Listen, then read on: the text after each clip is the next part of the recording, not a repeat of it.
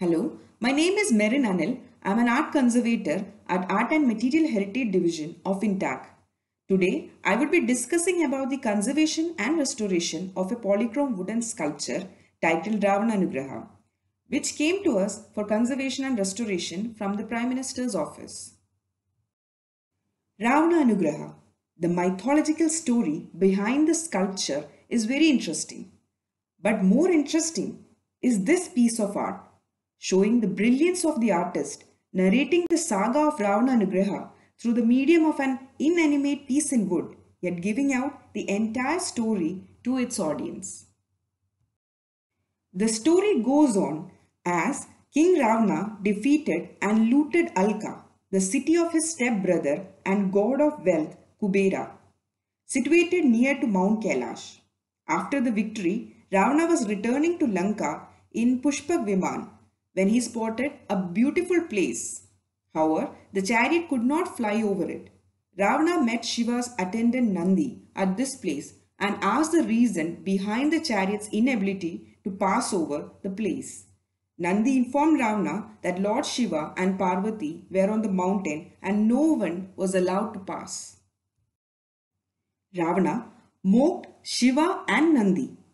Enraged by this insult, Nandi cursed Ravana. Infuriated, Ravana, by Nandi's curse and the inability to proceed further, put all his 20 arms under Kailash mountain and started lifting. As Kailash started shaking, Lord Shiva realized Ravana was behind this menace and pressed the mountain into its place with his big toe, trapping Ravana beneath it. Ravana was in pain. His ministers advised him to sing hymns in praise of Shiva.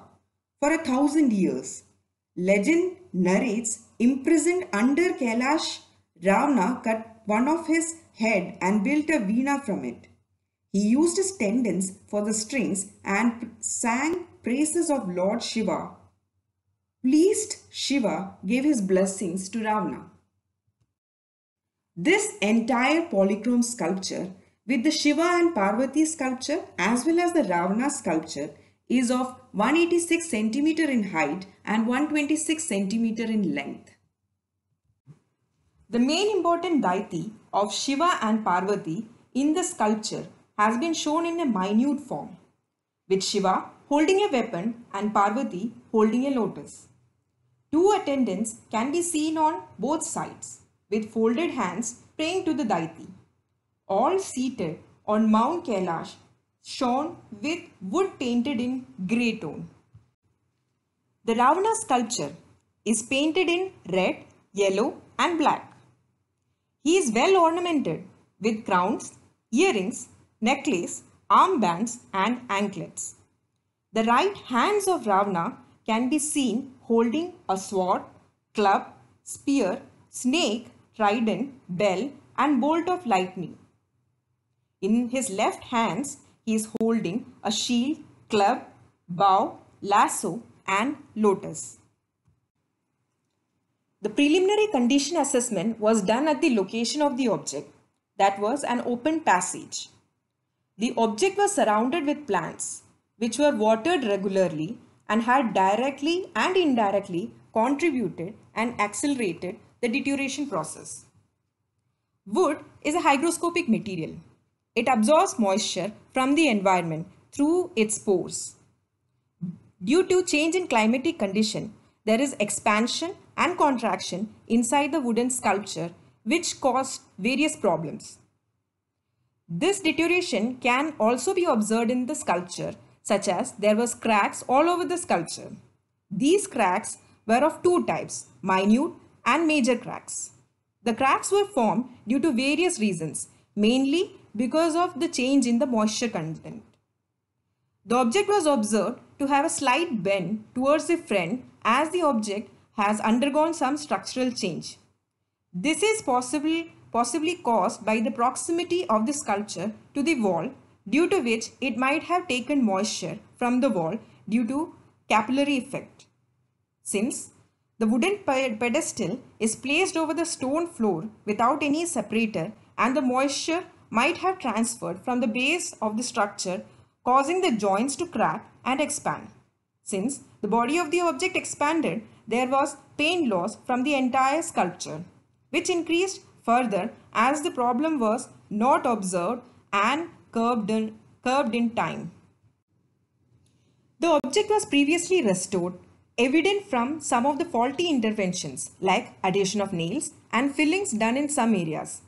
Splitting of wood, heavy dust accumulation and extensive flaking of paint layer were some of the problems which were noticed on the sculpture.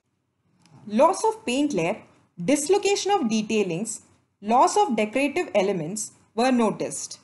Lifting of paint layer and addition of faulty materials, probably with the intent of repair, was noticed on the sculpture.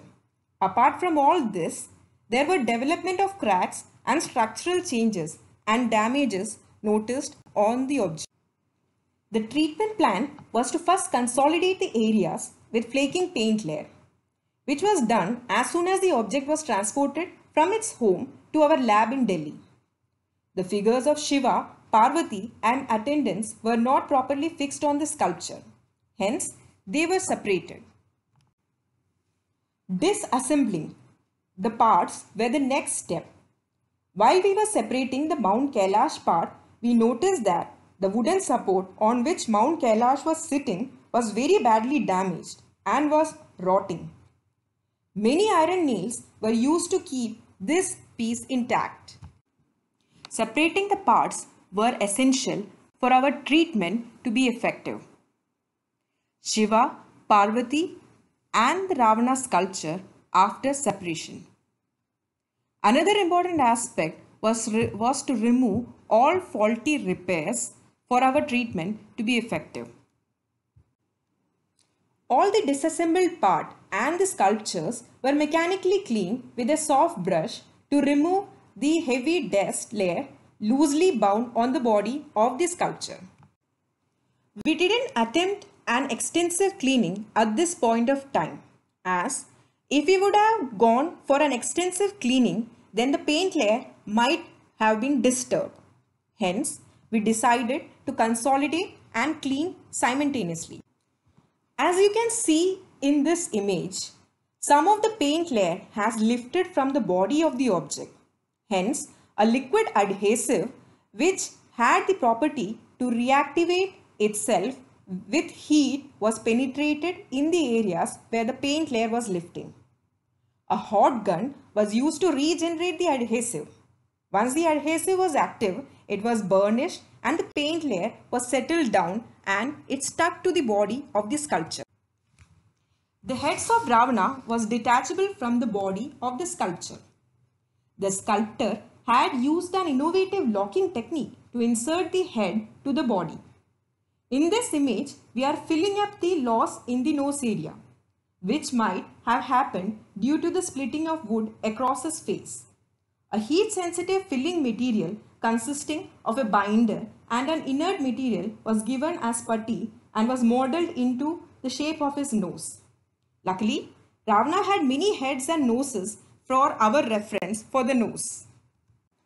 Solvent cleaning was done to remove the ingrained dust and residues of our fillings. For reintegration of paint layer, putty filling was done to match the levels of the adjacent area and colors were added. All the parts were now ready to be reassembled. However, the Mount Kailash was not going to stand steady as the supporting wood has already rotted. So a new addition of support, supporting wood was given. The newly added frame was first treated and was assembled.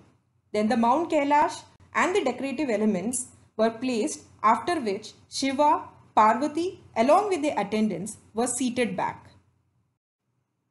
The front side of the object after restoration. The back side of the object after restoration. Thank you for your attention.